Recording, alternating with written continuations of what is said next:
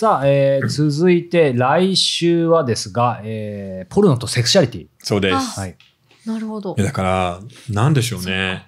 AV って廃れたじゃないですか。うん AV が廃れたところに新しいブームが来ていたんだっていうので、洋平君と僕でちょっと最近びっくりしたことがあって、ちょっと驚きましたね。はい、素人が毎月1000万稼いでいるポルノがある。YouTuber じゃないんです。えー素人ポルはいノ、そう、素人ポルノが、えーサブスクリプションでえ稼ぎまくるという、いや、変わったよねっていう、ここ、そうですね、2、30年分のあの、えーポルノの歴史を振り返りつつですね、あの、新しい時代のポルノ2.0とは何かっていうのを、えー話そうと思いー、ます。